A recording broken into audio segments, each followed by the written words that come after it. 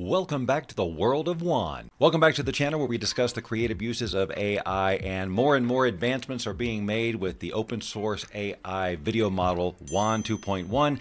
We're seeing all sorts of creative LoRAs that are being released that allow you to do all kinds of things that were normally reserved for apps that you would pay for, and now you can do them on your own. But among the latest of the toys they've given us are a couple of control LoRAs for use in programs like Comfy UI that allow us not only to easily change the style of any video video, but also to upscale and add detail to any video, not just one that you've created there in the platform. You can learn a little bit more about them at the Hugging Face page to give you more detail about the tile LoRa and the depth LoRa. The tile LoRa is what allows us to add all the detail, and the depth LoRa is what allows us to easily change the style. This is the Comfy UI workflow running over on our sponsor Mimic PC that did the opening of this video. We started with this input video here. The workflow extracted a depth map. I entered a detailed prompt, and this is what came out on the other side.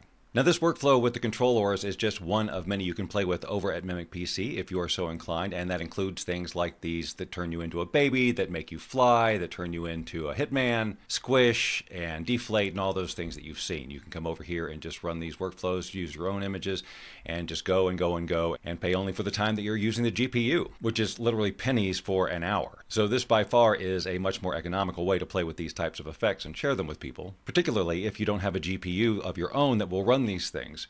This particular workflow, in theory, I should be able to run on my system just fine, but there's a couple of custom nodes that for whatever reason I cannot get installed, and so I actually have to run it here on Mimic PC, but it's better anyway because the GPU is way faster and it takes all the workload off my computer. I've left a link to this particular workflow right here, and let me just give you a couple of hints. When you click the link, you're going to be presented with something that looks like this. I'm going to highly recommend that you use the Ultra GPU, whether you use the bargain or the instant is totally up to you. But the other thing I highly recommend is to scroll down a little bit and go under more options and click on automatic extension. This will make sure that the machine does not turn off in the middle of a process or while you're, or if you've walked away for whatever reason, and then you have to start the machine all over. You don't lose any work that was created, but you know, it's just a pain to start the whole thing over. And if something was in process, you would have to start that process over again. Once that's done, you click create and start and wait just a couple of minutes while the machine is built and the software is loaded. Once it does, you're going to get a couple of workflows. If you pop this open right here, workflows, you're going to see depth and tile. Right now we are in the depth workflow, and that's the one that allows you to create these stylistic changes. And truly, hmm. just as I showed you, it could not be simpler. You choose any video Welcome. you want, you drop it in here, it creates the depth map, and then it uses that depth map to guide the shape of what you prompt in this area here. Now this is a fairly detailed prompt and I'm going to show you examples where I didn't do anything quite so complicated. But in this case, I was going for something in particular. So I actually did an image to image process from me sitting in the studio here to create a cartoon stylized picture of Bigfoot in the studio brought that image and brought it into ChatGPT and had it describe the image as an image prompt in great detail. So I got this prompt, and then that's what I plugged in here. But again, I could have just said Bigfoot sitting in the studio. I just wanted to see what would happen if I did this. Now, all of these settings here you can basically leave at the default. This node here, the Wan Video LoRa Select, is pretty much your denoise strength, like how strong the influence of this depth map is going to be. So if you're losing details in the back that you want, you can increase this number. But I found that this default around 5.58 is just fine. The only other thing you might want to do if it's not done when you load the workflow is if your original video has audio on it that you want to transfer to the finished product, you want to connect this audio node here to the audio node here. Now the default node here is in Chinese. If you'd like, you can just replace this node with the VHS combined node that is in English and you'll see that that says audio and it works just the same.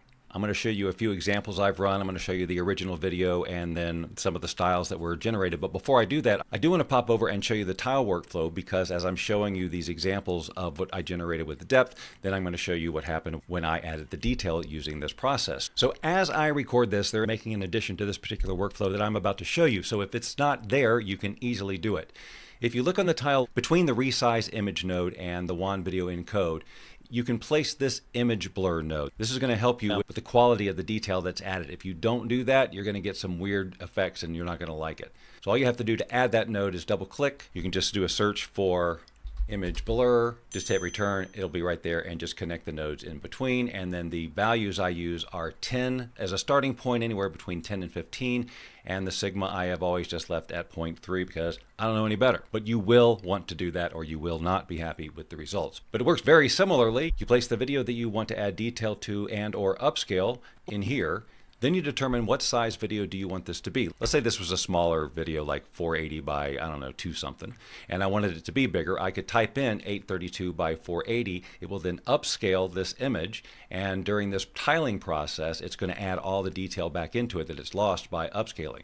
For example, this was the original image that I put into this particular workflow, and then this is the output. So you can see, I can make this a little bit bigger, but you can see that the original output had very little detail around the face, but by running it through this tile process, we added a lot more detail. It looks so much better. Let me show you a few examples, and not all of them have been upscaled with the detail, but many of them have. This was the first one I did, so I just grabbed a video that I had handy. It's one that I animated of me, a picture of me when I was in sixth grade. The prompt I gave it was a photorealistic aquatic alien with a fish-like face, scales, highly detailed realistic texture, is underwater with sea life swimming all around. So there wasn't a lot of movement to see in that depth map. Still, for a first attempt, I thought, wow, this is pretty cool how this works. Let's keep playing with it.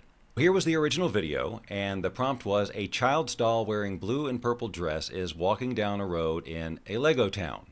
So did a pretty good job. She's not walking because she's not walking in the original video. I was thinking that she had when I typed that prompt, but all the rest of the style and the following of the movement it nailed. Here the prompt was an old black man dressed in a suit is standing on a city street corner. Now this one I ran through the tile workflow and got this upscaled version. You can see sharper details around the lettering here and in the face. I modified the prompt a little bit. An old black man dressed in a blue and purple tuxedo dreadlocks is standing on a city street corner, so no more walking instruction. So I love that, ran it through the Tyler, and got this upscaled version.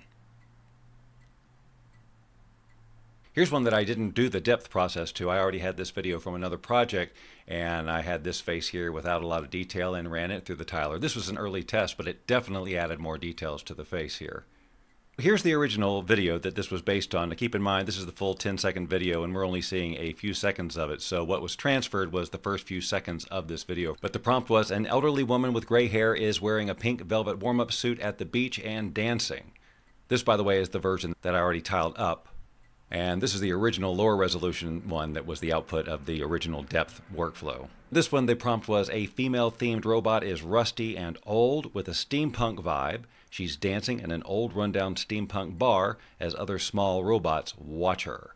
And there's the small robots back there watching her, and she's following the movement of the original video. This one I did not run through the tile upscale and already has great detail. Still working off the same video, a gorgeous young supermodel girl, 17 years old, long bouncy blonde hair, dressed in a blue silk shirt and white shorts, dancing in the mall. So although we have some not quite human activity going on with the arm, and I did not tile this one up either. I imagine you're beginning to see the potential here. Then there's this gal.